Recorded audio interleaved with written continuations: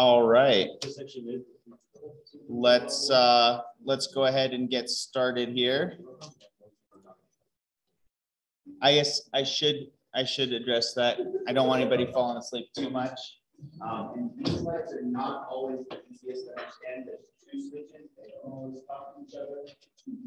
So sometimes it's easier said than done. Try this once. I'm really more of a half light sort of guy anyway, so you can, you can do that. I can keep you from falling asleep and be able to see what you're writing without it looking like that. Nobody needs that kind of light right now. It's right now outside. Right, exactly. A little more than that though.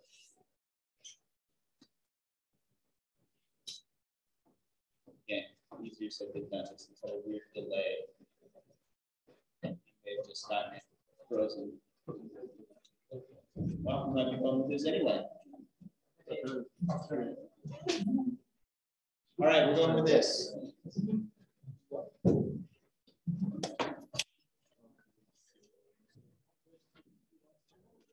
All right, so we're going to keep working with conversions in sig figs. Um, and some of the stuff we're going to talk about today will seem will be familiar for those of you who went to lab on Monday. Um, and then for those of you who have lab today, you're going to get into lab and be like, oh, this is exactly what we were just talking about in class. And so your lab will go a little bit smoother, um, but you might feel a little bit lost at first. Um, just remember that you're going to see it again in a few hours. Um, couple more. I finished up looking at the intro quizzes. Those of you who are on the wait list, um, I think I got everybody added from the wait list. Um, so you should, if you either get an email about, I don't know how they handle if you still have to go pay for um, or anything like that, but everybody should be able to get access to the Canvas shell by the end of today. Um, so if you can't, if you haven't heard um, from from enrollment services or something, let me know and we'll get that all sorted.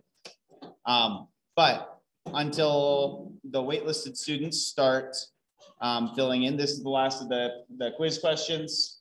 Um, somebody asked me a very broad question. What does education mean? Is it something I wanted to do or that I was influenced to do? Um, a little bit of both. I, you know, I just like learning things. I like talking about, I, you know, I basically the way I, I do hobbies is I find something to obsess about for a couple months or a year and then I either transition into something else from there, or I just keep going more and more to totally switch tracks. Um, so I, I just like learning in general. I'd be doing that anyway, so I might as well be doing that. I thought when I was 18, I might as well be doing that in a, in a place where I get college credit for it and, it, you know, learning some useful skills. Um, and then I decided to go to grad school just because I had had some hard classes, but I hadn't hit a wall where I thought that I couldn't do the work. Um, so I thought, well, you know, maybe maybe I should go to grad school and see if I hit if I hit a class where I can't keep up anymore. Um, and grad school, I I found my limit. It turns out it wasn't in the coursework; it was in the research side. Um, you it takes a very very specific type of person to do well in academic research, and I'm not that type of person. Um, so, but it was just sort of a, a thing that I just um, decided to try out. The nice thing about grad schools is if you're not going to one of the big grad schools, see, I'm going to phrase this. If you're not going to one of the grad schools that makes you money as a career, so like um, med school, law school, stuff like that, um, most PhD programs actually pay you to go to grad school. Um, they pay your tuition, you get a small stipend, which comes out to be well under minimum wage, but it's enough to live on usually. Um, I mean, close to livable wage anyway. Um, and so I figured, why not? I can be poor for a couple more years while I decide whether or not this works for me. Um, so that that was kind of it was kind of fun too. It's uh, it's an interesting challenge, you know, when you're in your 20s. If you don't have a whole lot, you know, if you don't have to deal with um, having kids or family and things like that, like just how cheap can I be? How long can I live on on this dollar fifty worth of ramen that I bought from grocery outlet? Um, it gets old fast though.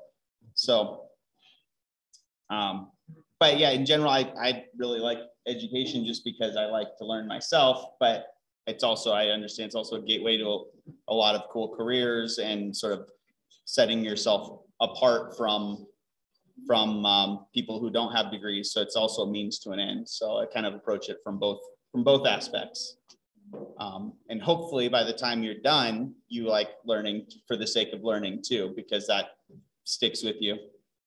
Um, you do not need to bring computers to class or lab. It might be helpful if you like taking notes on computers or if you have a hard time reading my slides from, from wherever you're sitting. It might be helpful to have your laptop up, you're scrolling through the slides like that um, while we're going, but it's totally not necessary. And like I, I might have only mentioned this to one of the lab sections, um, but we do have six Windows laptops in the lab that are community use. So if, if we do a lab where we're taking a lot of data or we're going to be doing some analysis in Excel, which there will be some of those, um, if you don't have a computer with you, there are computers that can be used. Um, and I'll try to give you advance notice so that those of you who do have um, computers that are easy to, to bring with you um, know to bring your computers on those days. But it's absolutely not um, required in any way. We'll make we'll find ways to make it work if you don't have access to a, a laptop. Um, are we allowed to use our notes in the quizzes? Absolutely. Quizzes are open book, open note, uh, open any resource you want, really, um, short of just throwing them on Chegg and waiting for somebody else to answer for you. Um, everything short of that, it's fair game. And I will generally, with quizzes that have right and wrong answers, will go over the answers in class on Tuesday. So you'll turn your quiz in Sunday night, um, on, and then on two or sorry, not Tuesday, Monday. Um, right now, basically, we would be going over, you know, where did people get hung up? What are the common pitfalls? What was the right answer?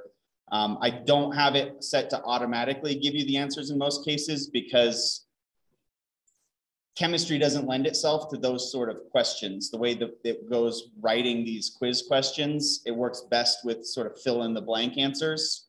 And it's really hard to um, provide feedback immediately with those sort of questions, the way Canvas works. And so typically it'll be a, you kind of have to wait uh, a little bit, you know, till Monday afternoon, and then we'll go over and see which what you got. And you know, and I do give partial credit on these quizzes as well.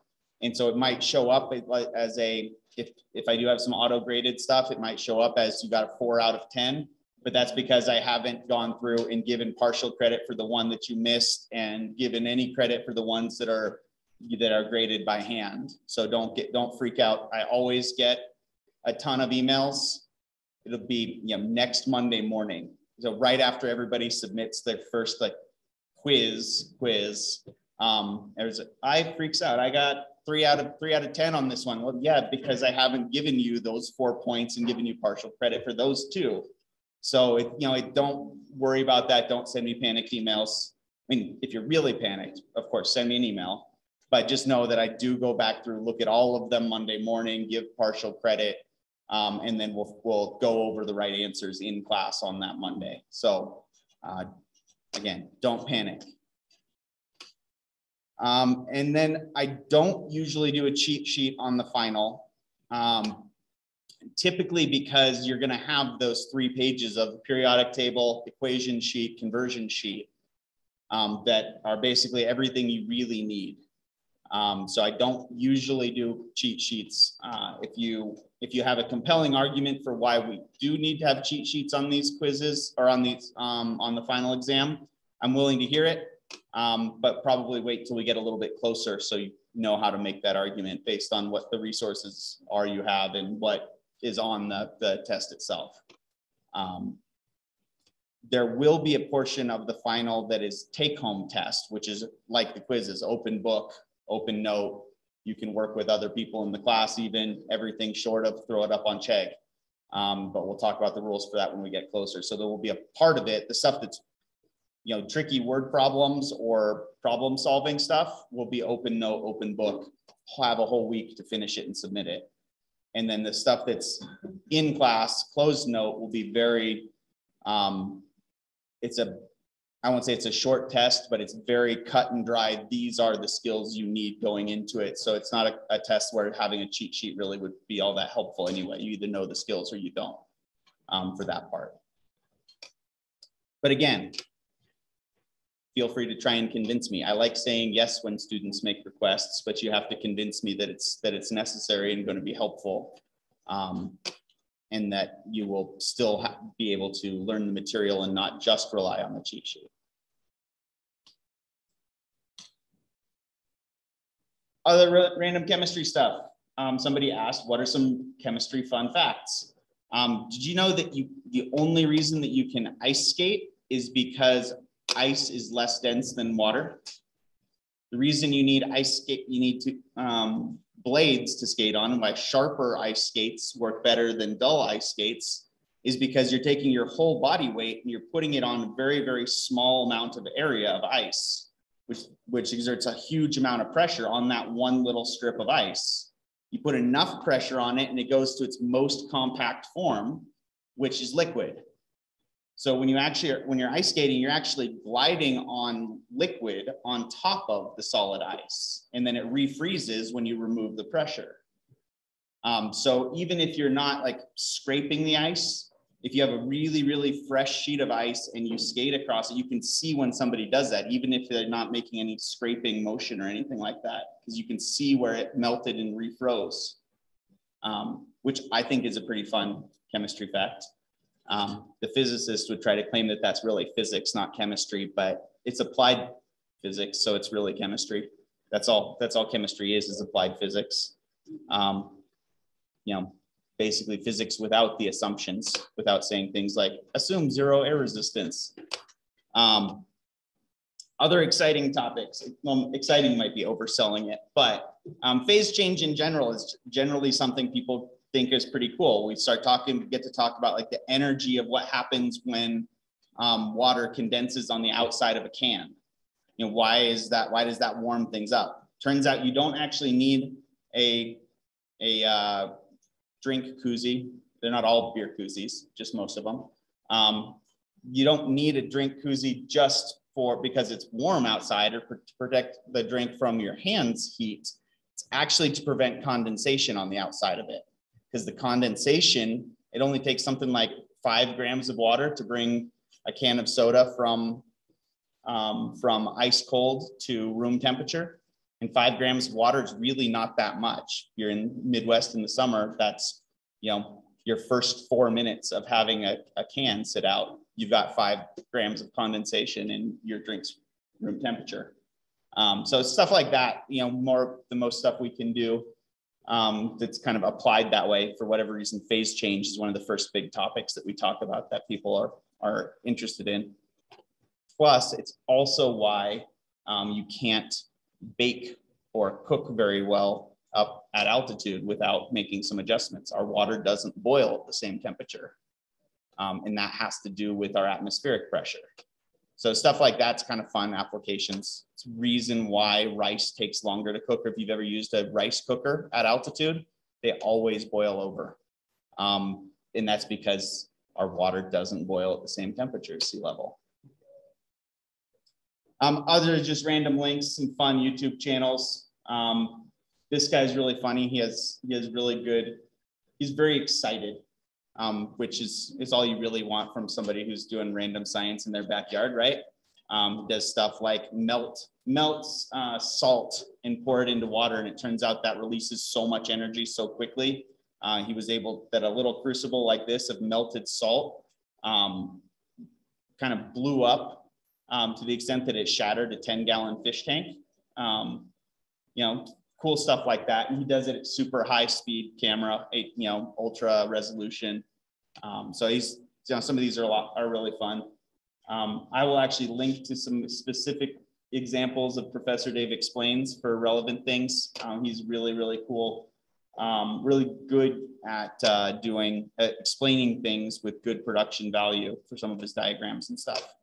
Um, and then if you need, if you get tired of YouTube's recommended, you know, chill lo-fi beats to study to, um, then you can also put on like things like the jellyfish cam from Monterey Bay.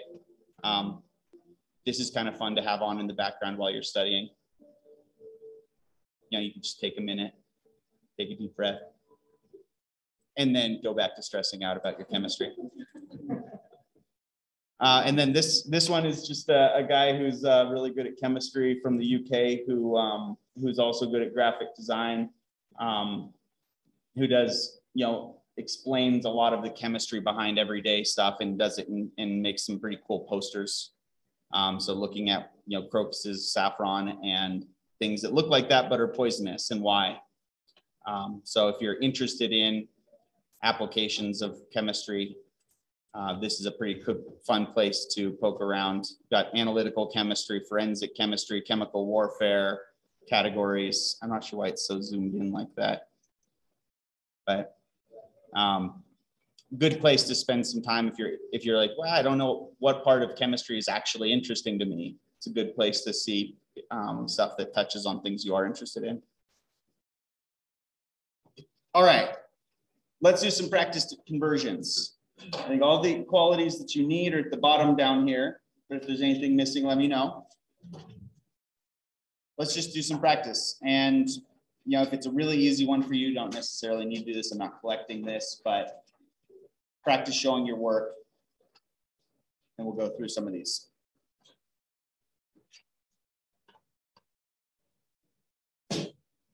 Bless you.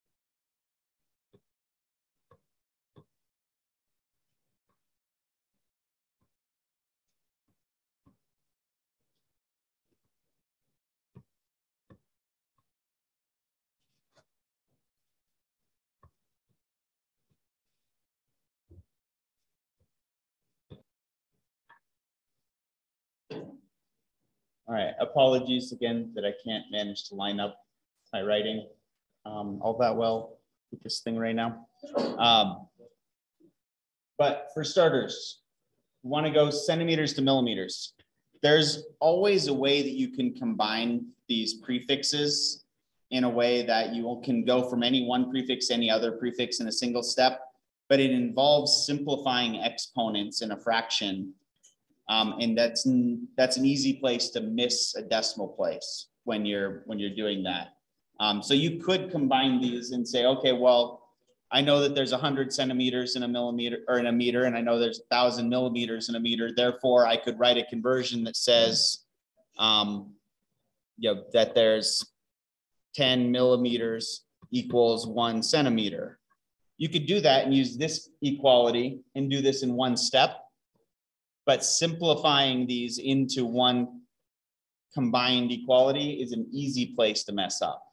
So what I always recommend, especially as you're getting used to this, is anytime you need to go from one prefix to a different prefix, take it to the base unit. In the case of centimeters to millimeters, take it to meters and then go meters to millimeters.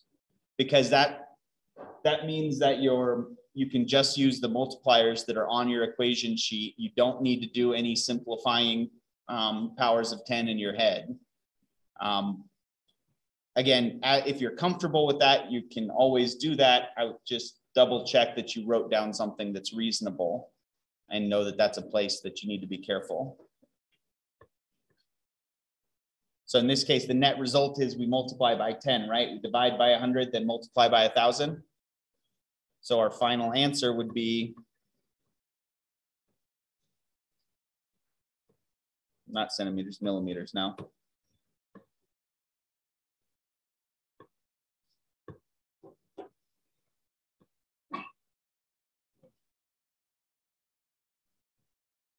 And we're going to keep three sig figs. Because what do we know about those prefix conversions? Do they have sig figs? I, we don't, sorry, that's a bad way of phrasing that. We don't need to worry about the sig figs because they have all of the sig figs. They have infinite sig figs. They're exact, right? So we, um, we are only worried about the sig figs that we started with if we're using exact conversions.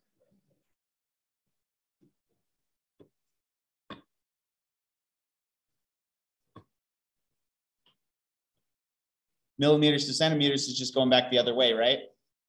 To go millimeters to meters and then meters to centimeters. There is one way that you can easily combine some of these prefixes is anytime you can say that two things are equal to each other, or equal to the same thing, you can say that they're equal to each other as well, right? So you could say, okay, well, 10 to the 2 centimeters, 100 centimeters is 1 meter, and 10 to the 3 millimeters is equal to 1 meter. Therefore, 100 centimeters is equal to 1,000 millimeters. Right? See, see, see how they're both equal to 1 meter? So then you could rewrite your equality to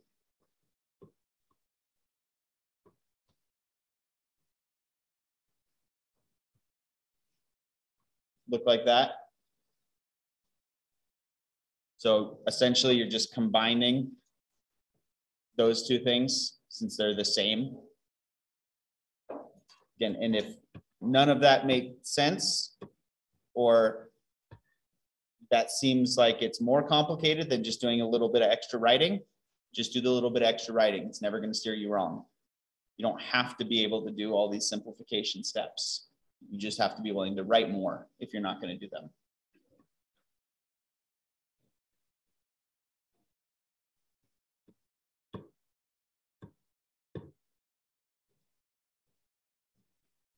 So what are we going to get for 52.4 millimeters to centimeters.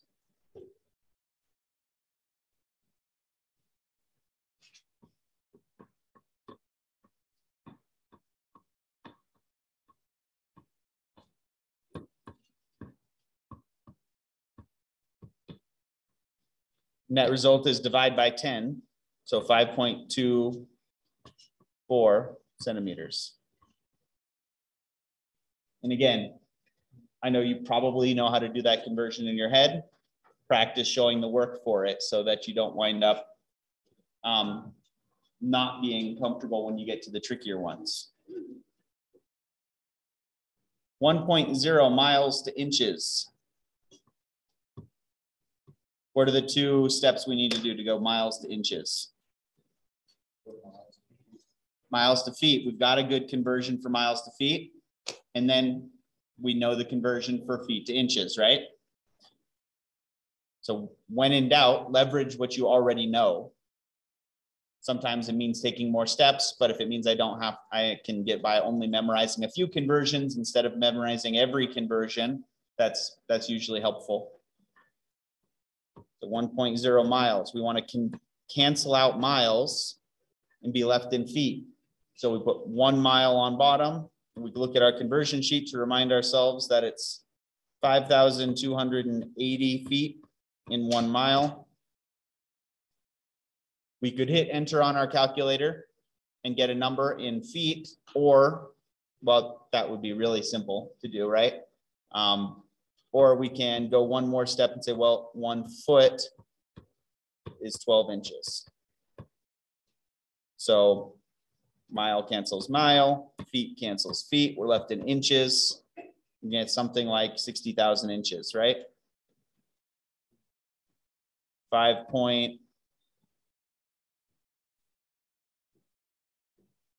Five point three? What do we get? What's five thousand two hundred and eighty times twelve? Sixty-three thousand three hundred and I sixty. And cannot get used to that. So we're only gonna keep two sig figs, so six point three times ten to the four inches. Only two sig figs because our starting number, one miles, only has two sig figs.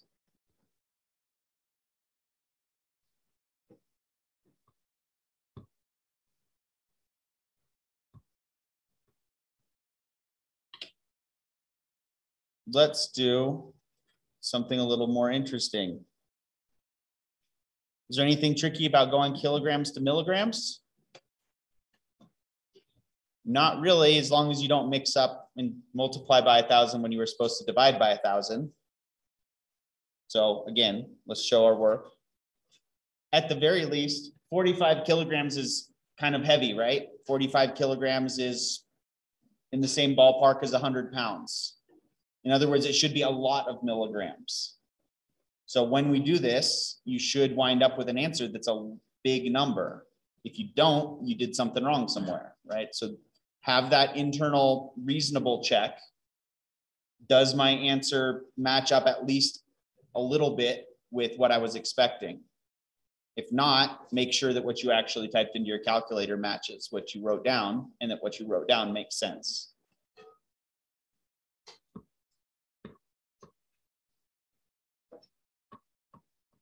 So forty-five point zero one kilograms.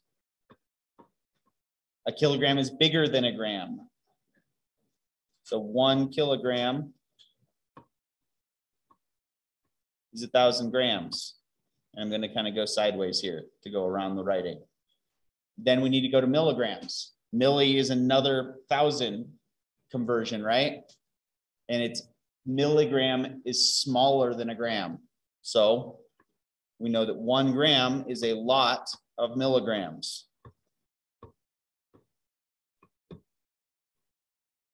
So we should wind up with 4.501 times 10 to the 7 milligrams when you plug that in. In other words, 45 million milligrams. Um, a quick note about your calculators when you start getting into scientific notation range on your calculator. If you get a big, long repeating conversion or a repeating decimal, don't forget to look at the end to see whether or not it has um, scientific notation attached to it. Because a calculator that reports something, that's not my tab at all, but it'll do. Um, so we want to say 4.5 times 10 to the 7 would be one way of writing our 4.501. Put the 01 in there. So this is one way of typing that in, is just type in times 10, use caret for the exponent, and you get a number. Um, if we get to really big numbers, Google will return a number in scientific notation, but it does it in shorthand. This E, and if I'm being really picky, that E should be a capital E, is short for times 10 to the. So 4.501 E plus 17 means four point five oh one times ten to the seventeenth. Right, so, and if you've got a Texas Instruments calculator, when you plug this into your calculator, um, it might, you might get this long repeating decimal that has E and then a number at the end. Same thing, don't forget to look to see if your answer is in scientific notation with some of these, especially when we get into really large numbers. Because if you did, if you plugged something into your calculator and you got, you know, if you were expecting a really big number and you got four point, uh, and you got something that looks like it's close to one, it's probably because you missed scientific notation in there somewhere. So watch out for that. Um, and most calculators have a way of plugging, uh, using that shorthand for scientific notation. Um, if you plug in 4.501 E17, okay, well, that didn't work well. Um, maybe they've changed their, maybe it needs a plus now. No, I guess they're not using that in Google anymore. Um, well, Wolfram Alpha will still do it.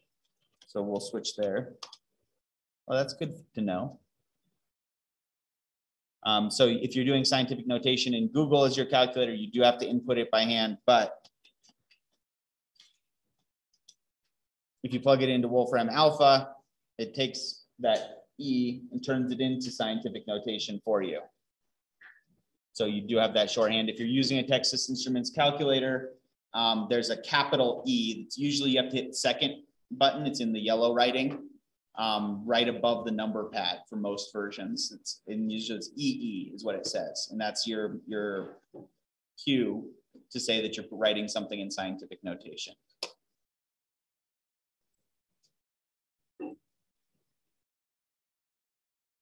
Milligrams to grams, seconds to hours. If you have your conversion sheet with you, you might notice that there's already a conversion that goes directly seconds to hours. So you could do it in one step. If you don't have that sheet or don't remember that conversion, everybody still knows how many seconds are in a minute, right?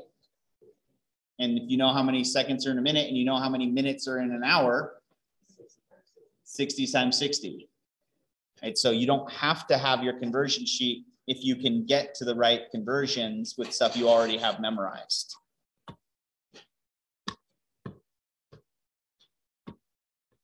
So 34.87 seconds. And for every 60 seconds, it's one minute. And every 60 minutes is one hour. So we'll wind up with something that's 0.009, 0009.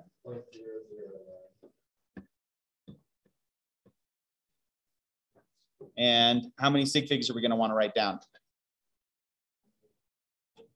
Four. So 009, give me three more sig figs.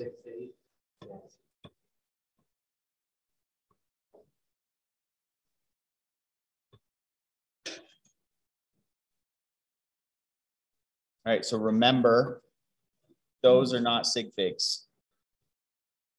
So we want four sig figs, we need four numbers starting with the nine.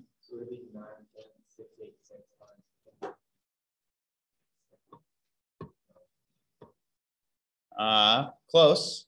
We're moving the decimal three places, right? Yeah.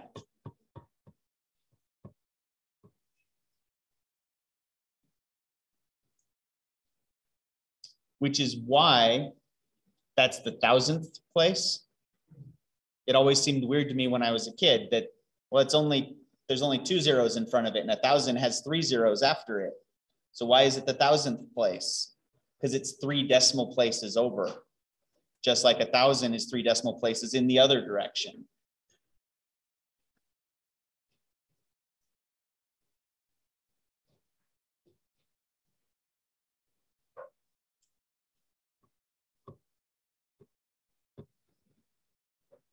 if you're in weird unfamiliar units, does anything really change about the process? No? So just because you don't happen to have the the conversion for cubic inches to gallons memorized, as long as you can recognize that they're both volumes, or even if they're not both volumes, as long as you can find an equality that says how many cubic inches is one gallon, your process is the same. We want to cancel out cubic inches and be left in gallons.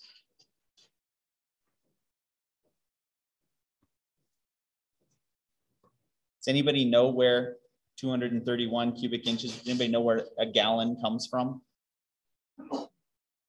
It's an honest question. I not a leading question. I actually don't remember that one.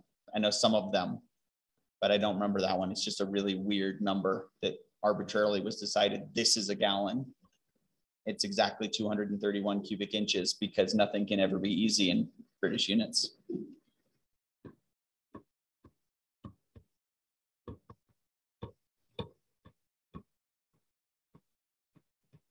Set it up, inches cubed on bottom to cancel out, gallon on top. We'll get something a little over two.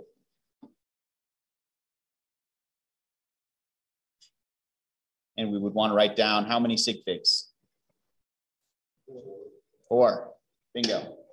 The 231 is exact. It's a weird number, but it's an exact number because it's a conversion within the same units, within, within British units.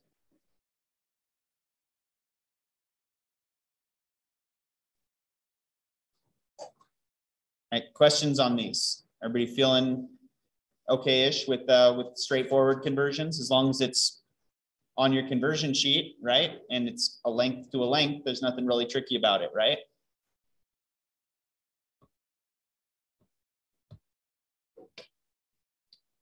The one that I always remember is that an acre. An acre is 5,000 or 43,000. Before it. Um, an acre is 43,460 square feet, something like that. Um, which originally was the, the area of land that a single person could plow um, by themselves in a day. So you were expected to, when you were, if you were a, a surfer, a peon in medieval times, you were expected to be able to work that one acre of land, farmland in a day. Um, that's where that came from. Now we have remote controlled combines that can do 100,000 acres in a day, something like that. Um, but that's where it originated at some point. I don't know why they didn't pick more friendly numbers though.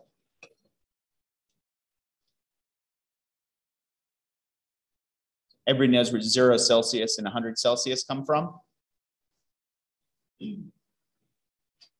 So zero Celsius is the melting point of water, um, where ice and water, where ice melts or water freezes. 100 Celsius is where it boils. Does anybody know where 100 Fahrenheit or zero Fahrenheit comes from? What's that? Uh, I don't think so. It's, that's not the story I'd heard, though. It could be. Um, Zero Fahrenheit was basically the temperature that Lord Fahrenheit, the coldest temperature he could make with water and salt and ice. Um, so it didn't actually have any significance. He said, well, it doesn't get any colder than this, so we'll call it zero. Um, and then 100, I believe, was the story I heard was that it was the body temperature of a cow um, is 100 Fahrenheit. And he was a, a lord in, I mean, Renaissance times, but still, you know, um, was definitely in a feudal system. So body temperature of a cow was more significant to him than the body temperature of a person, I guess. Anyway, um, there's a reason we're not going to use Fahrenheit very much because it doesn't make any sense. All right, when we are talking about converting um, between British units and metric units, um, we basically are always going to come to the same point. It's not, there we go. Basically, the only two conversions I want you to use reliably between US and metric units is 2.54 centimeters equals one inch because that's exact. That's the only exact conversion between British and metric units. Um, basically, it used to be an approximate conversion and then, but it was so close to the right number. It was like two point five four zero zero one centimeters was the one inch that they just redefined an inch actually in the nineties, I want to say, maybe eighties. They just said, well, it's close enough and it's really helpful to have an exact conversion instead of a sig fig based conversion. So we're just going to say one inch is now exactly defined as 2.54 centimeters.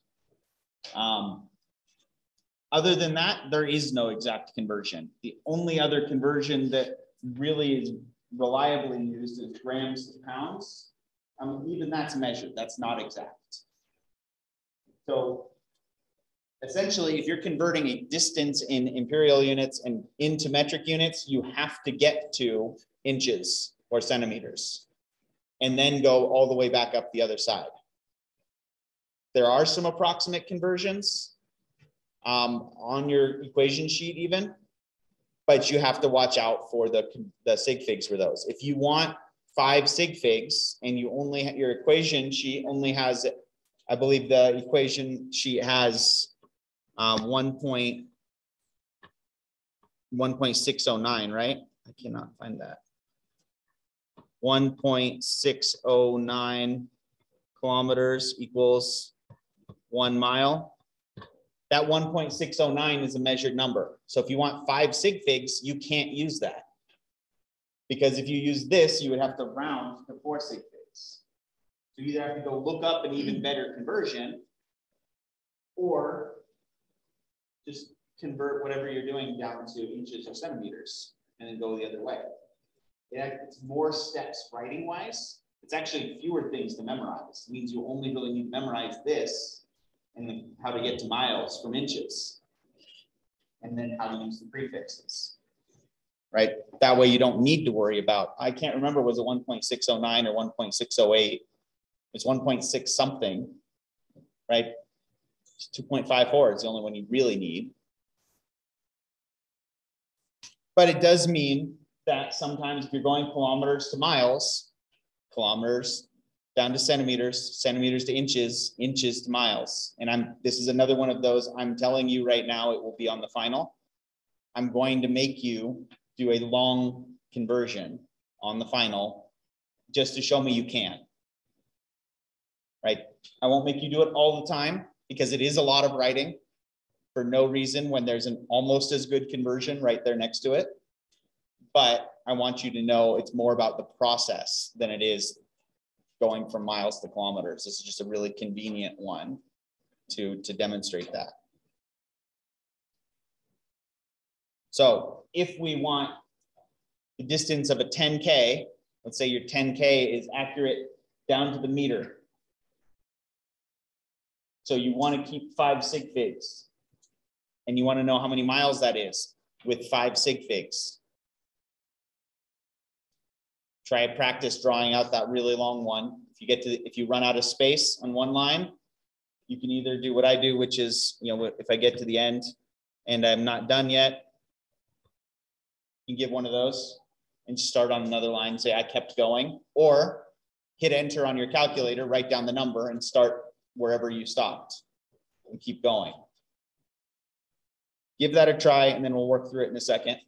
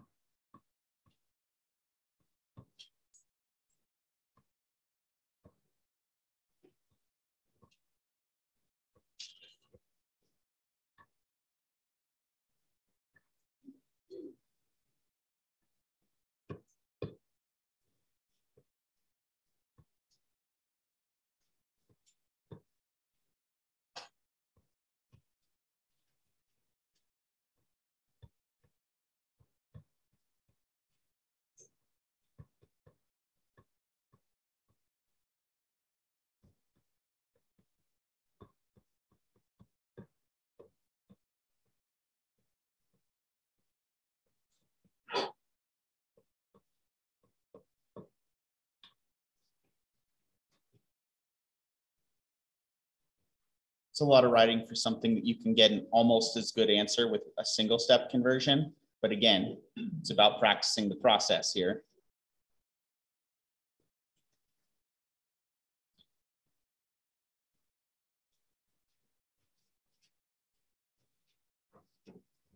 So one kilometer is a thousand meters. Again, make sure you don't divide where you're supposed to multiply.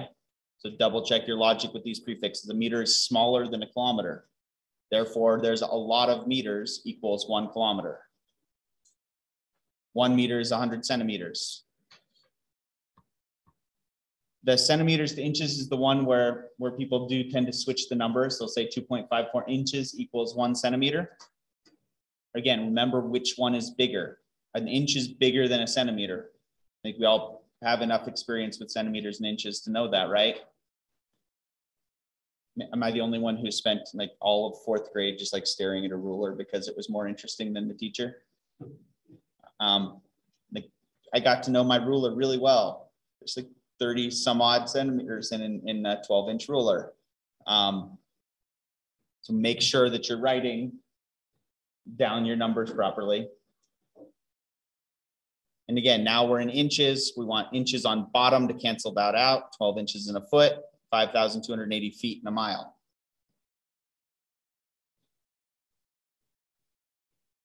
You see also how it would be really easy on some of these longer conversions to think you know the process in your head, but, you, but wind up multiplying by 12 when you were supposed to divide by 12 because you didn't want to show your work. Right?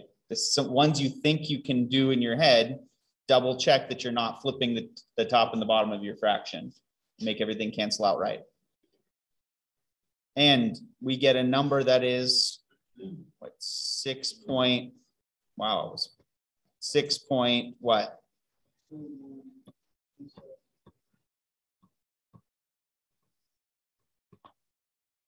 Good.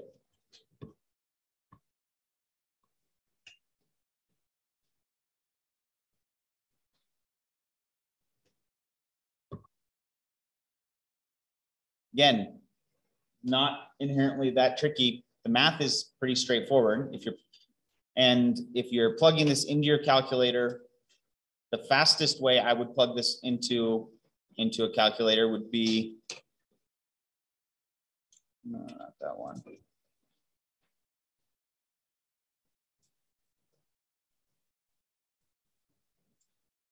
Ten times 1000 times 100 over 2.54 over 12 over 5,280 be the way that I would plug it into a calculator. Except I'm off by multiple. I did, I made that. No, I did that right. What's wrong here?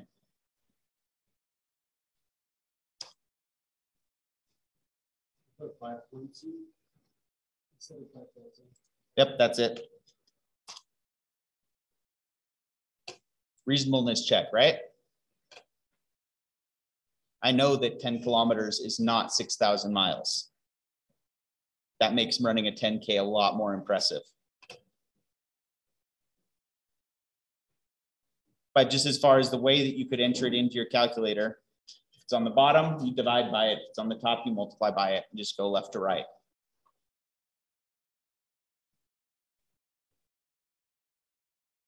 All right, questions on this one? Cool. Again, I told you I'm pretty fast at that. Um, I'll say it again. Questions on this one? Anything I did that doesn't make sense? Awesome. I'm happy to hear that. So everybody will 100% get every conversion problem right for the rest of this class, right? I didn't even get my own example right. Hopefully you at least know when you get them wrong, even if you can't find your error on the in a time situation. I, I, I actually am more generous with partial credit when somebody writes something like 6,000 can't be right, but I can't find my mistake. You know, so you still box the answer you know is wrong, but you wrote a note says, I know this is wrong, but I just don't know why that's fine. I can be more generous then because it shows me you did that reasonableness check, that you know that there's something wrong. Matt? So when you started that, you did kind of the third one millimeter. You're essentially just breaking that back down to the base, as you said, and from there, it's easier to convert that back down to centimeters, inches. Exactly. Okay. Exactly. And that's where the scale on the conversion sheet because that will tell you what power. it's like not 10 to, to convert it. Right. Exactly. So you don't need to remember that what the multiplier is for mega, as long as you know that mega is one of those ones that makes it bigger and you can find it on your sheet, right? Because then you can say, okay, oh, mega is 10 to the six. And I know, so that means that there's a lot of megameters in, or a lot of meters in one megameter. Right, so that, you know, just knowing makes things bigger or smaller and knowing where to find it on your equation sheet is the, is the easiest way to get, get your, a handle on using those. Like I said, I don't even have them all memorized. I just know the general order and can kind of figure it out from there.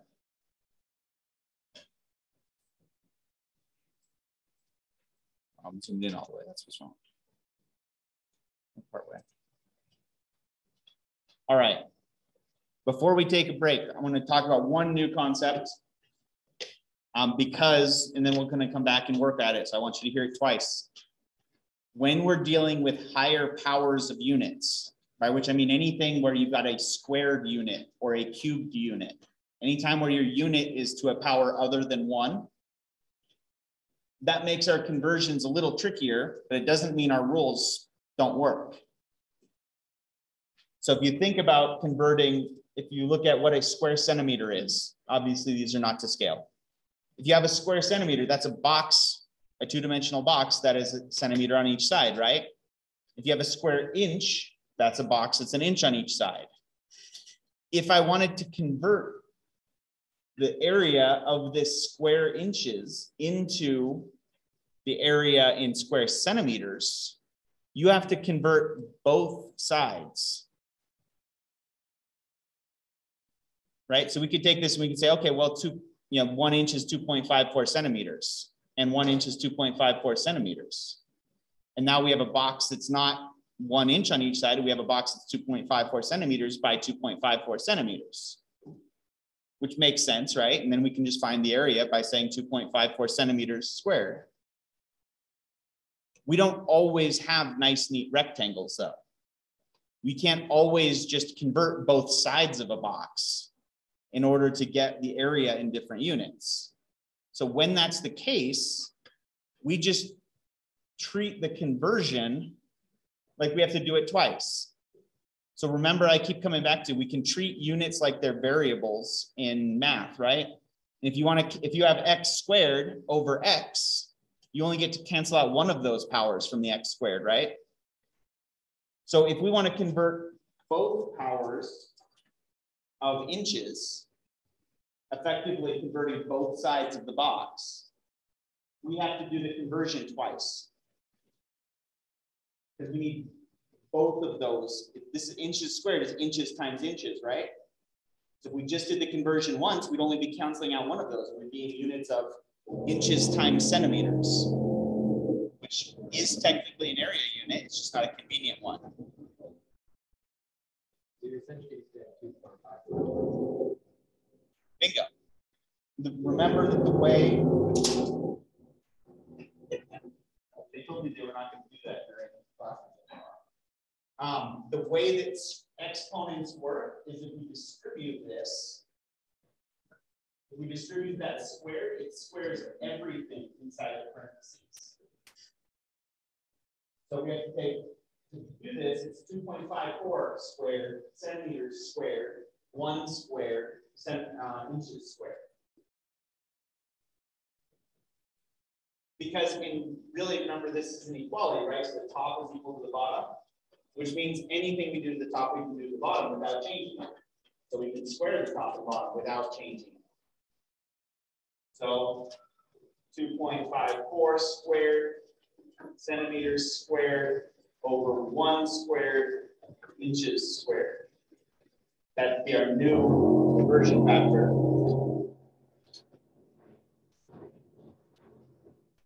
At least they're timing it from when I'm, you know, moving from one side of the room to the other.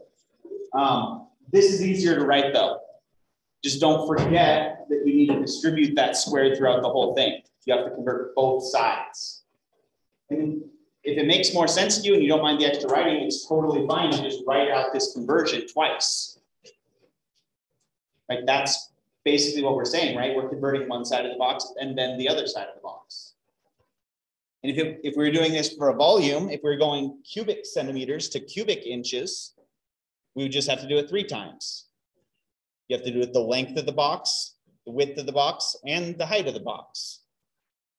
And so it doesn't really change our process. This is just one new tool we can plug in there. So we don't actually need to memorize a different conversion for cubic centimeters to cubic inches.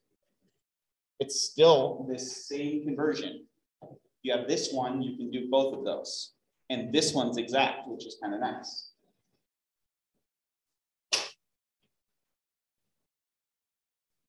So let's take a break there and we'll come back and we'll calculate the volume of that box in cubic inches. So let's come back in 10 minutes. Let's come back at five after. Call it six after.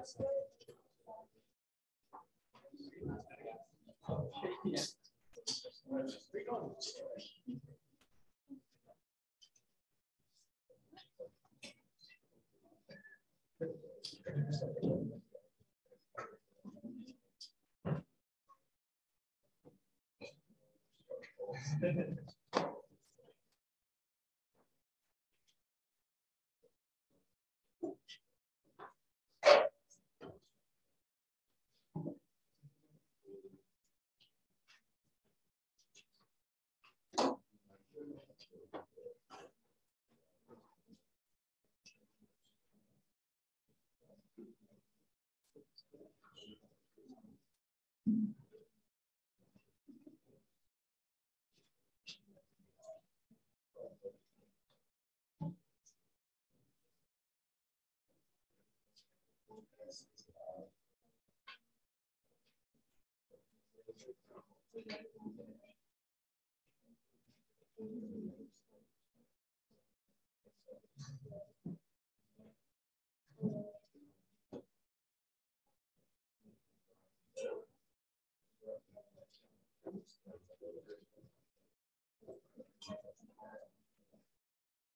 Vamos lá.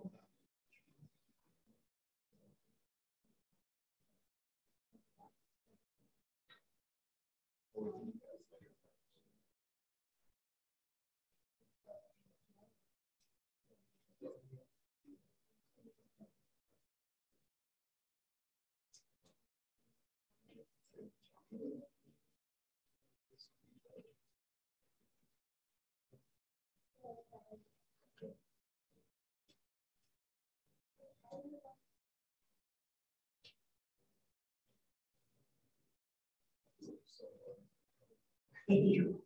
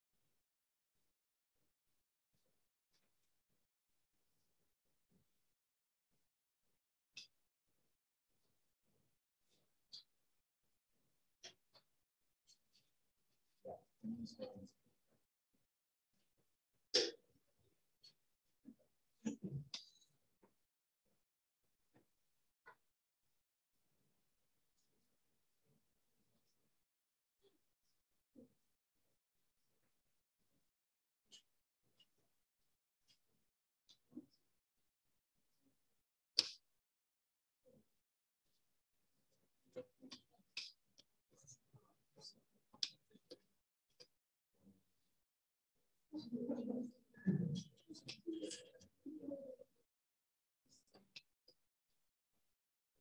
you.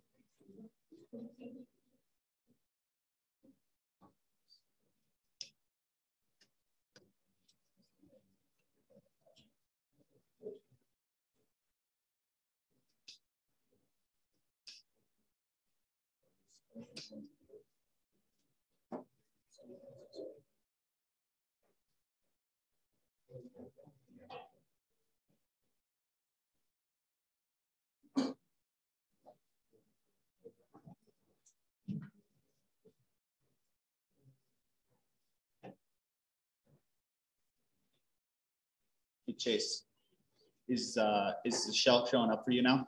Yeah. Cool. No problem. Glad we could get it worked out.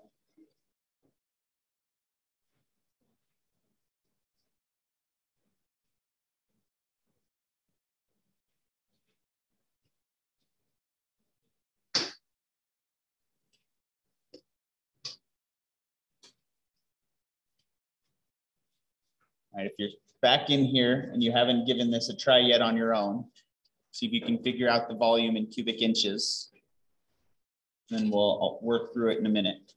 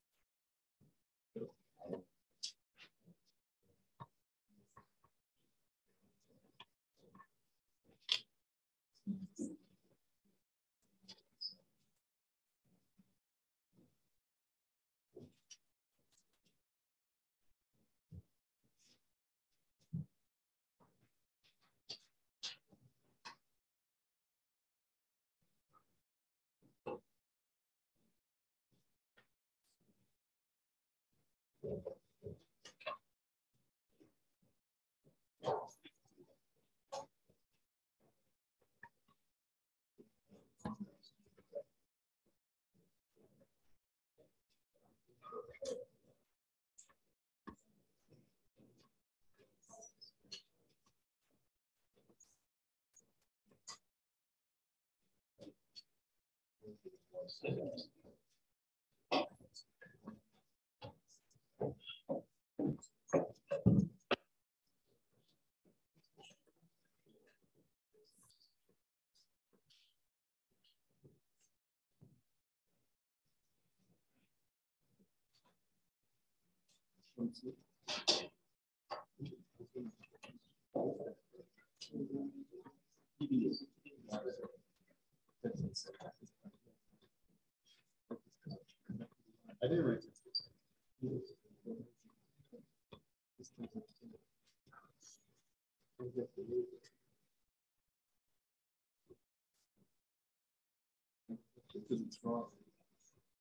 it's supposed to be.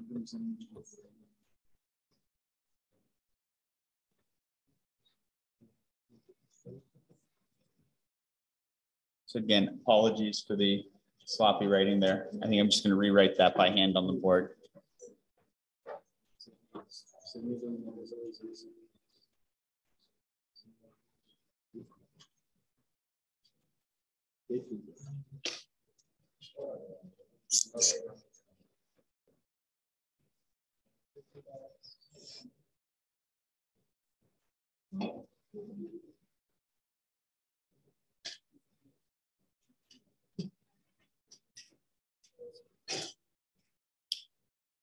All right, so really the, there are two ways you can answer this question. The simplest in terms of keeping things the same as, as what we've been working on would just be to take all three of the dimensions and convert them to inches before you plug it into the volume equation, right? If you took the time and you took seven point six eight centimeters and you put that in inches, and you took twelve point five four five centimeters and put that in inches, and you put five point five six centimeters into inches. Great, that works. And now you can just get your, your volume in cubic inches that way, and you should get the same answer within sig figs. That's three conversions, and it, that method falls apart if you don't have a convenient volume equation. Right, so those of you who had lab on Monday, part of the lab is finding the volume of irregularly shaped aluminum pellets, right? You can't convert the dimensions of an aluminum pellet into different units before you find the volume, right? You find the volume first and then you could convert. So sometimes there, there are some cases where it's easier to to convert the individual measurements first, and then that's going to solve some problems, some conversion problems down the line. But for the most part, knowing how to do this gets around having to worry about it. If you just, if you have the volume in cubic centimeters, and you want it in cubic inches, and you know regular inches to regular centimeters, you just do this three times. And you can even plug it into your calculator that way, you get the right answer you took 532 and you typed in divide by 2.54, divide by 2.54, divide by 2.54, you'll get the same answer as, as if you put divide by 2.54 to the third. So if you have, if you're using a calculator that doesn't have a convenient exponent function, or if you don't know how to get cubed on your calculator, one, let's fix that um, what I can work with you so we can figure out how you can use the calculator you have to do exponents because we're not always going to be dealing with things that have their own button like squared or cubed. Um, but you can get around it just by doing it by hand basically. Right, and then so in this case, I think we come out with something like 36.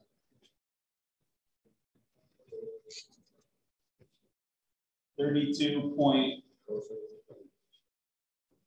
five inches cubed. Is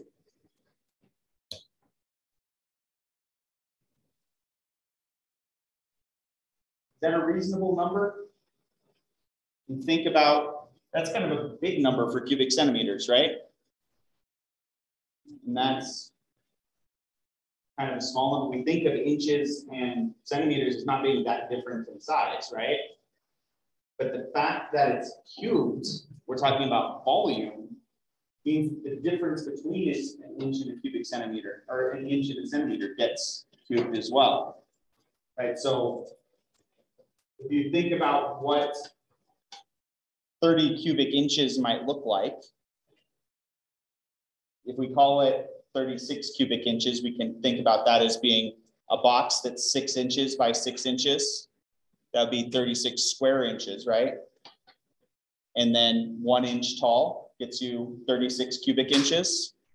So a box, I don't know, about that big, that's one inch deep is about what we're talking about here. What's 500 cubic centimeters in terms of something that you could visualize?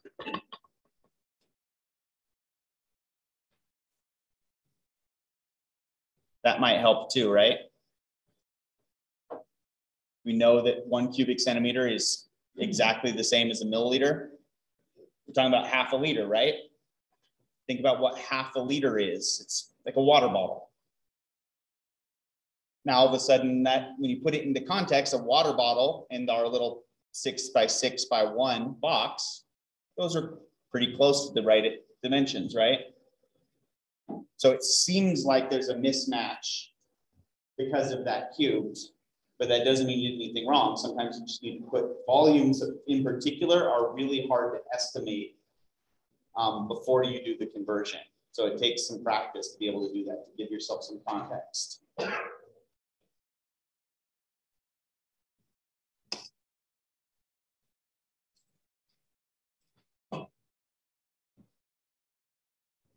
What about in gallons? How do we convert thirty-two point five inches cubed into gallons?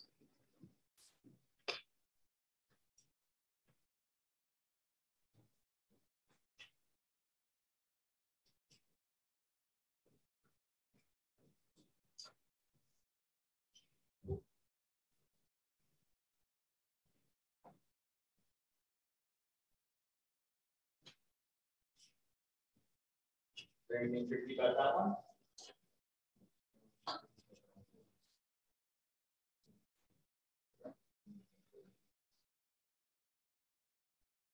We've got a conversion for gallons to inches already, right? So this is just like any of the other conversions we've done.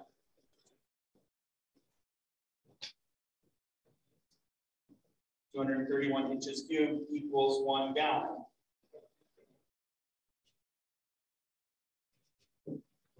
Do we need to worry about cubing that whole conversion?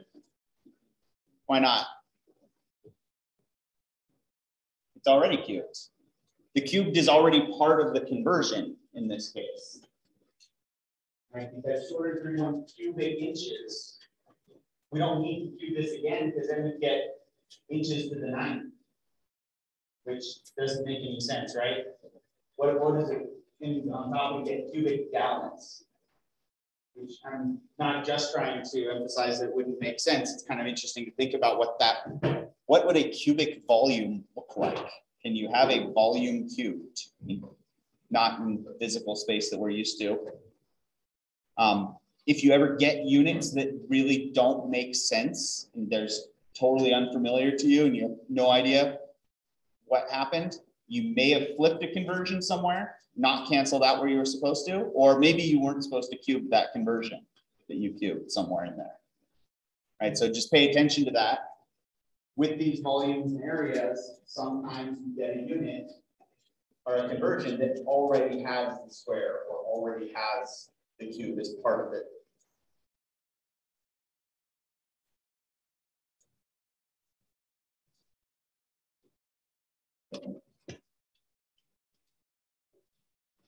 All right, so questions on volumes and areas?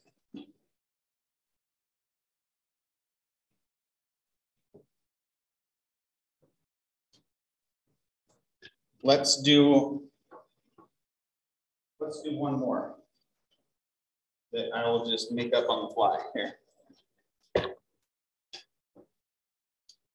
Let's figure out how many acres this classroom is. How big is this classroom in terms of square footage? What's the, the distance from here to the back wall? Ballpark, we don't need to be that close. 25? I like that. 27. So we're very clearly in the same ballpark, right? Within the same, within sig figs, that's pretty close to the same number. Let's call it 25 because I like 25. That's a more convenient number to work with than 27. So we've got a box that is 25 feet.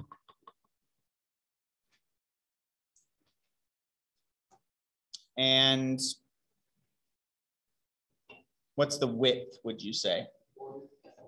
40, 60? Um, my, you know, my brain thinks in fractions, right? And I'm looking at this and saying that if we're calling this distance 25, this distance looks roughly double that. So, and to make it clear that it's two sig figs and not just one, and because I don't want to write 50 in scientific notation, um, I'm just going to say it's 52 feet.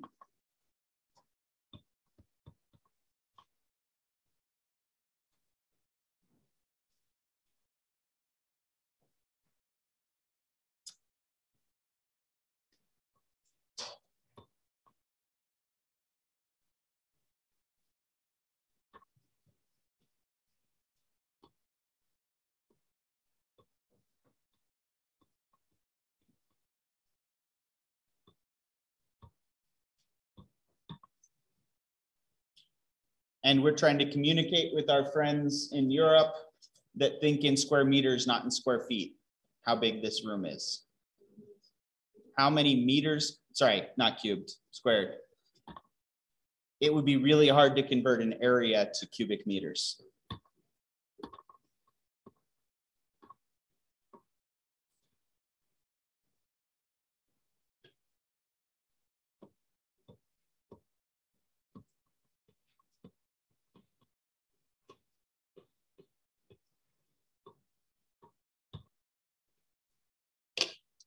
And then just in the interest of practicing with other conversions, let's figure out how many acres this room would be.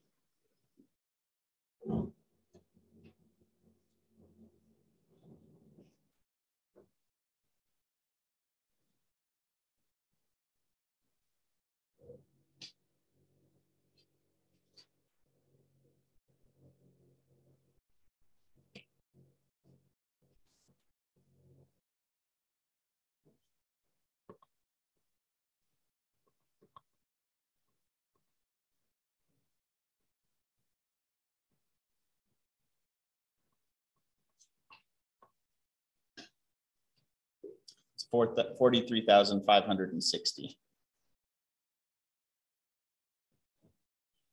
Is one acre, that's really hard to read for you.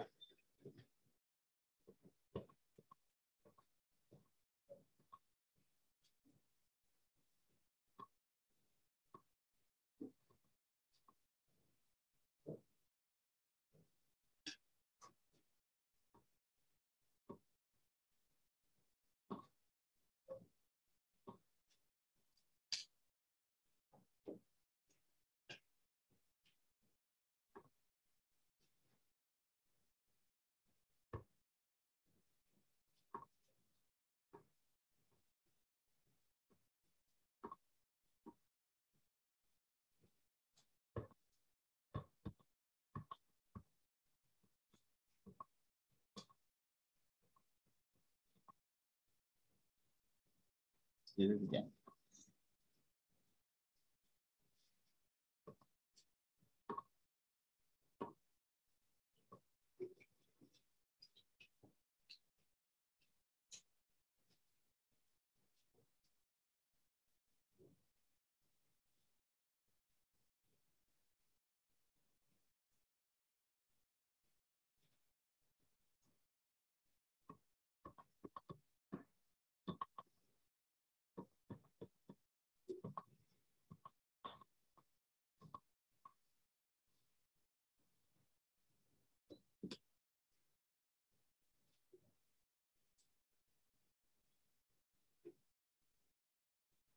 First off, how do we do with our estimate of this, of the dimensions for this room?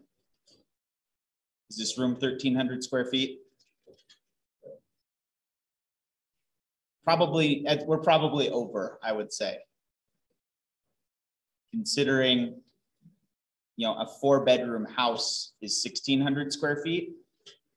I don't think that we have the same footprint here as a four-bedroom house. So we probably overestimated, probably on both of our dimensions. It's probably more like twenty by twenty by forty instead of twenty-five by fifty. But we're at least in the right ballpark. We'll call it good enough for now to two sig figs. If we want to put that in square meters, we've got to convert our feet to meters. And we've got to square every conversion along the way. The good news there is that we have those memorized probably, or at least close to. One point three times ten to the three feet squared.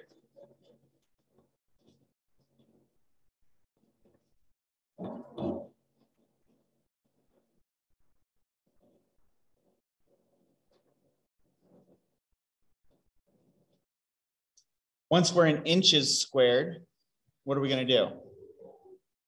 We're trying to get to square meters. Centimeters, right? And again, the conversion does not change. We just have to do it twice.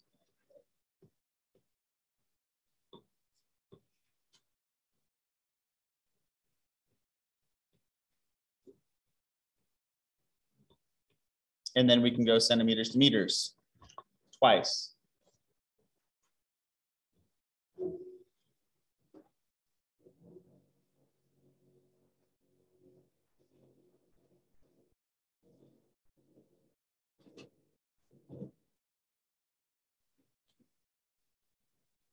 So we'll get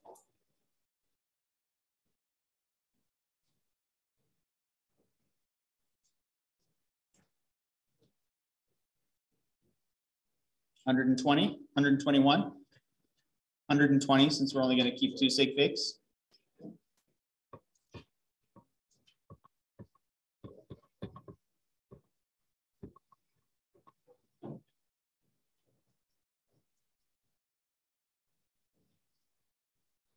So really, the only thing tricky about using these higher powers of units is you just have to remember to do this. And remember to plug it in when you actually do this. Probably the I think I see more mistakes just in using your calculator incorrectly with these than actually setting it up wrong. Because it's really easy, especially when it's just one of your conversion factors in the middle is squared. Um, it's really easy to just forget to hit that squared button when you're plugging it into your calculator. You'll get a number that doesn't make sense and you can't tell why because everything looks right on your paper. So when I see mistakes like that, where it looks, I don't see anything wrong with what you, with the work that you showed, but your answer is wrong, I will just usually write calculator error. And that's, you know, a, a one point deduction or something like that. It's not out of a 10 point question. If you set everything up right on a question and just plug it into your calculator wrong, that's a nine out of 10. Gus? What does it say on the? uh, Oh. right? Sorry, meters squared.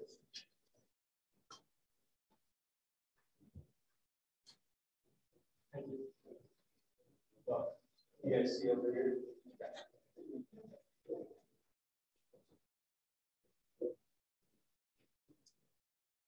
If we want it in acres, we don't have to go through all that hassle. Because we are in square feet. And we already have a conversion for one acre equals forty-three thousand five hundred and sixty square feet.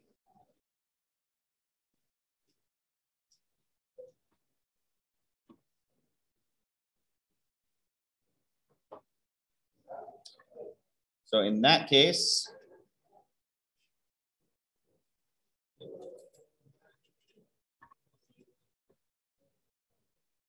One point three, ten to the three feet squared.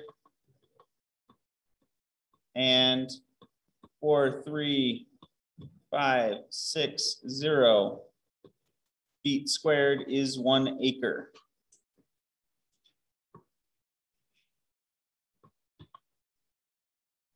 Again, I don't know why they didn't pick a nicer number, but I'm sure there's some random field in England that is the definition of an acre that is forty-three thousand five hundred and sixty square feet, um, or something like that.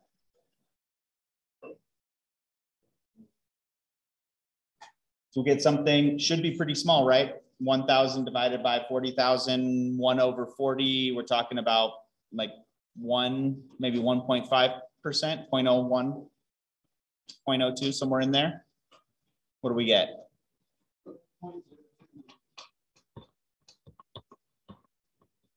Nine eight.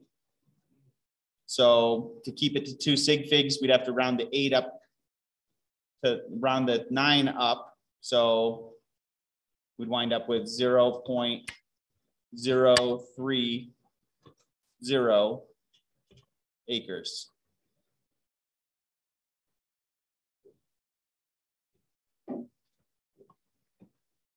So that was our calculator answer.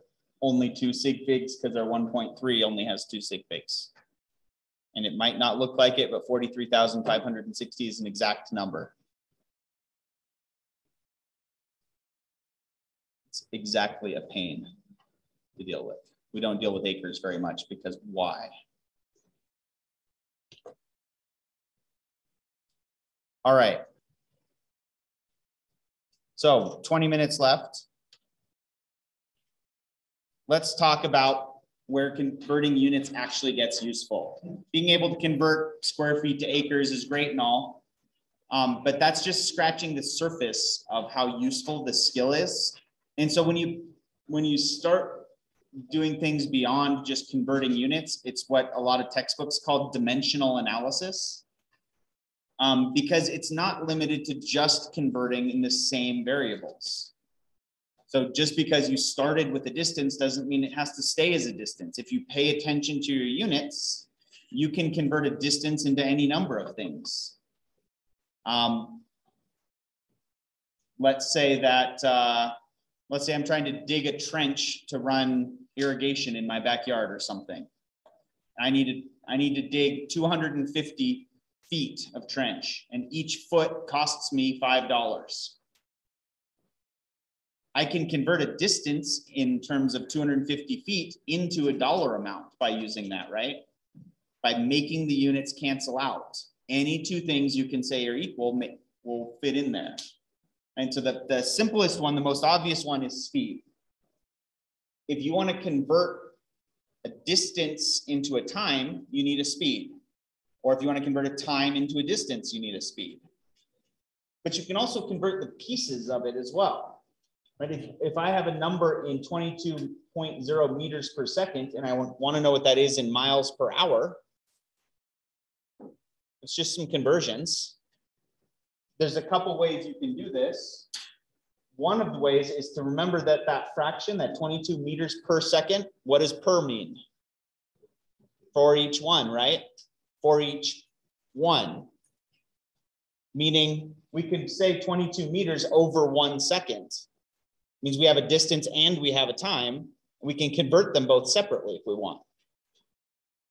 So that means we can write things like, okay, well, I'm going to convert 22.0 meters into kilometers. And I'm going to take one second and convert it into hours. And then just take your two numbers at the end and put kilometers over hours and do the math. We're to one second into hours is going to be a really small number, right? So one second 60 seconds is one minute. 60 minutes is one hour.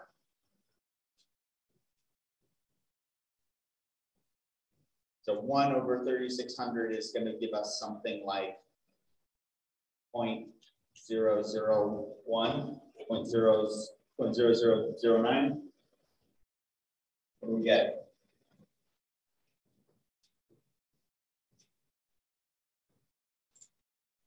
That's a little bit more than a third than 33, so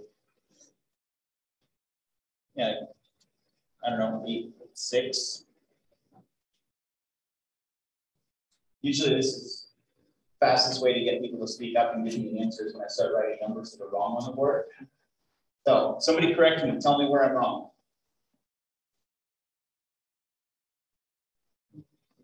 Yeah, point zero zero two, or zero zero zero two. Okay, and how many sig figs are we gonna wanna write out for this one? Three, our, this number doesn't really have any sig figs associated with it, but we have three sig figs there. Basically, we're gonna assume this is an exact number because that's our measured number. When you say miles per hour, you're assuming that when you're talking about an hour, that's an exact hour, and your, and your distance is approximate. Whatever's on the bottom of the combined units, just call it exactly one, but we just want to write out as many sig figs as we have on the top of this case. So point zero zero two seven seven, seven eight, eight. will round it to two cents. bingo. Should be three zeros.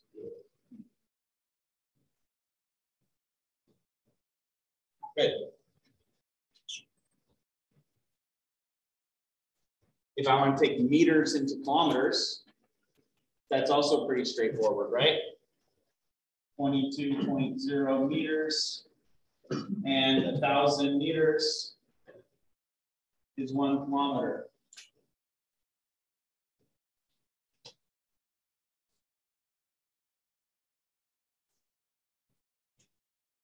So 0.0220 kilometers, right? Twenty-two over a thousand. Well, so we just converted the amount that's on the top, and then we converted the amount that's on the bottom. If we want, if this is the distance traveled in this amount of time, we just take kilometers and we divide by hours.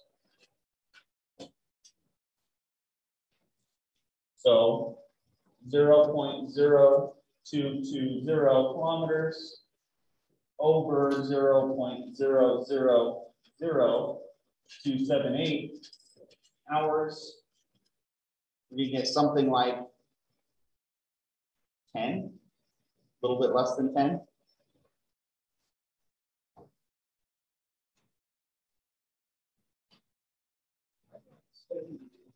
Seventy-nine, okay, so I, I slipped a digit somewhere.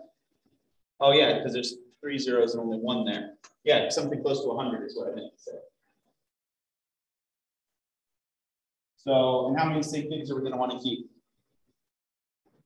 Three, right? So seventy-nine point one kilometers per hour.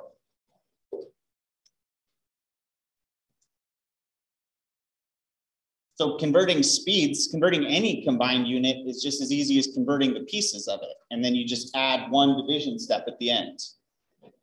If you have a density that is in grams per cubic centimeter and you want to know what that is in pounds per gallon, you take cubic centimeter, you convert to gallons. You take grams, you convert to pounds, and then do the division. And again, this way will never fail you, but there's a way we can do the, all of this in one line on your binder paper. If we just remember that all we're really doing to convert units is multiplying by one, right? We're in the habit of putting the unit that we want to cancel out on the bottom of our conversion factor, right? Because it's on the top of the number we're starting with. There's no reason why we can't convert the units on the bottom of what we're starting with. Say 22.0 meters over one second. If we leave it combined like this, we can still cancel out seconds with another conversion factor, right? You can still say 3,600 seconds is one hour. It's backwards from what we've been doing, but it follows all our rules. We're still multiplying by one. We're just canceling out that, the bottom unit that we started with, instead of canceling out the top unit we started with. So just by doing this, we get to meters per hour. If we want to then take meters and convert meters to kilometers, we can tack that one on too. A thousand meters is one kilometer. Just because they're not right next to each other doesn't mean that units on top and bottom won't cancel out, right? Meters cancel meters. Mathematically, we'll get the exact same number if we do it this way as this way. We just had to do it more steps. We do more rounding if we set it up like this. This approach, taking the top and converting it and then taking the bottom and converting it will never let you down there's just a faster way too. If that's tricky for you, but this made sense, use this way. Or vice versa. What I did over here makes no sense, but you can follow the process for over there, do it that way. I don't care how you show your work, as long as you know what you're doing and you can convince me you know what you're doing and you get the right answer.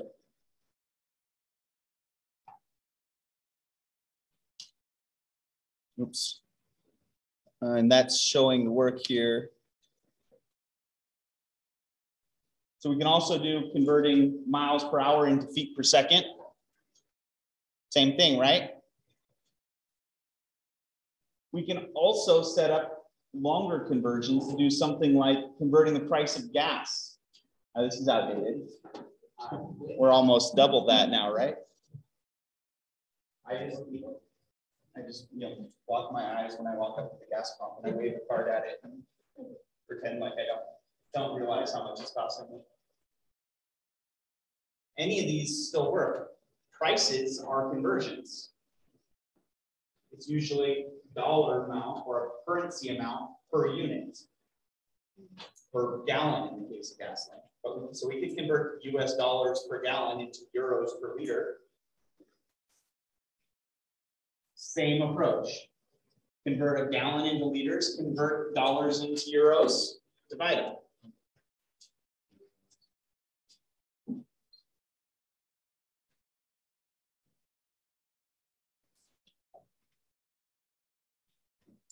And this is where it gets really powerful.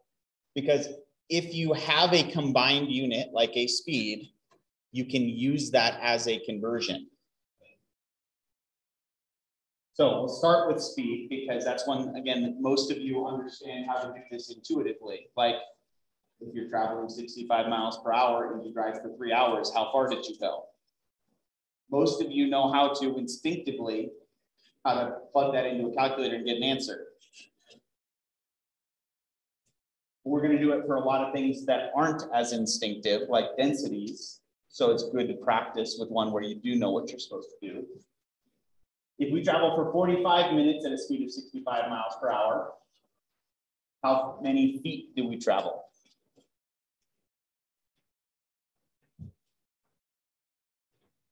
Well, we can take forty-five minutes and convert that into hours. And then with our speed, we can convert hours into miles. And then once we're in miles, we can go to feet. Do you have a question, Sam? So, and again, you can break this up into individual steps. You can say, you know, if I was doing this in my head, I would say, well, forty-five minutes, that's a three quarters of an hour. So 0.75 times my speed is how many miles I went. And then I'm gonna just ballpark whatever that number is times five thousand to get close to a number in feet. But as long as we're showing our work and getting a real answer, we can do it all at once. Sixty minutes, one hour. And this is the really obvious but easy to, to forget on, uh, when you're in a time situation. Use the speed as a conversion. One hour equals sixty-five miles. That only works as long as you're actually going sixty-five miles per hour, right? So that's something that's not on your conversion sheet because it, it changes depending on your speed.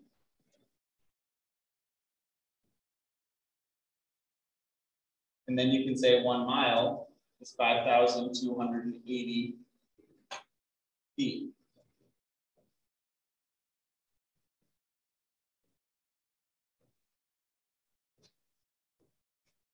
So get something like twenty thousand? No, that's not big enough. Two hundred thousand?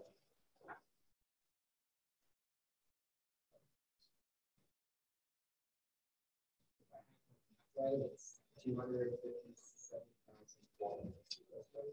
Okay.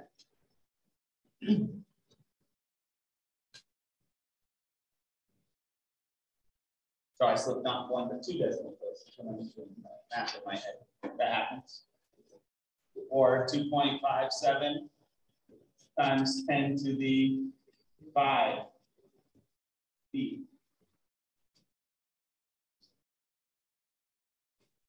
Oh, I took forty miles and multiplied by five hundred, not by five thousand. That's why. Right? This is the only new step, right? Is the fact that we can get from a time to a distance using a speed. Any combined unit this works with. Sometimes in ways that seem counterintuitive or like, I'm not sure if I'm allowed to do that, but the units work out, so I'm gonna try it. Probably, that's, that's fair game for this class. Um, yeah, but I don't know why I'm able to convert an area into an energy. But I'm gonna use this random conversion that says joules per square meter. Joules per square meter is a really weird unit, but it is, it is a, it's a variable called flux, energy flux. And so things like um, the density, energy density of sunlight hitting the earth is gonna be in units of, you know, joules per square meter per second. Well, I don't necessarily know what that means, but I bet I could use it like a conversion if I'm careful. Right, so it allows a lot, it, it basically removes the need to remember things like velocity equals distance over time, or density equals mass over volume. Because all you really need to do is make the units work out. You make the units work out, you're probably on the right track.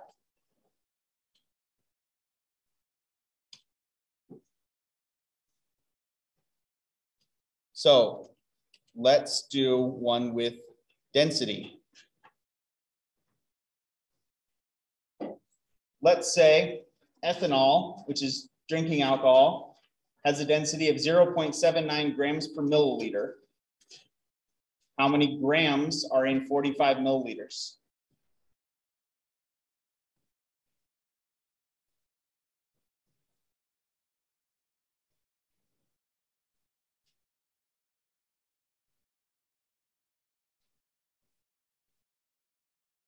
This one's even simpler than our speed one we just did. Because I gave you density in the right units for what I'm asking, right? You don't have to do any conversions on either side. If I have 45 milliliters, one approach is to handle this algebraically. Go find the equation for density on your equation sheet, plug in your volume, plug in your density, solve for mass. That'll give you the right answer. I don't like doing that because I find it easier to just make the units work out. So if I have 45 milliliters, I don't need to remember whether mass goes over volume or the other way around. I just need to make sure that I cancel out milliliters and I'm left in grams. So I just take the density that I'm given and say, okay, well, 0.79 grams equals one milliliter.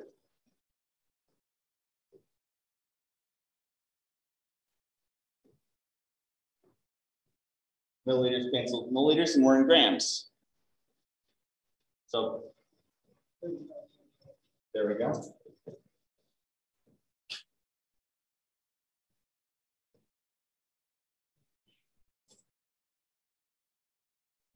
How many, how many of you had a, a high school science or math class where they taught you that for things like density, there's a triangle rule or something like that?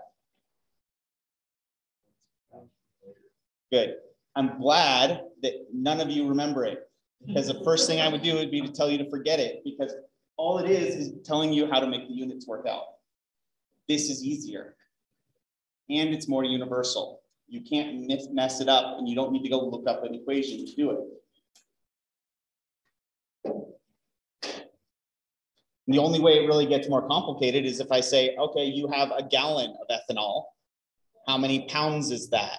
But your density is in grams per milliliter. That just means you've got to take your gallon and get to milliliters. And then you can go from milliliters to grams and then from grams to pounds, right? It's still no different than what we've been doing. It's just a tool now to get from one type of variable to another. And we'll start, uh, we will do some more practice with this and we will ruin the best scene in Raiders of the Lost Ark on Monday.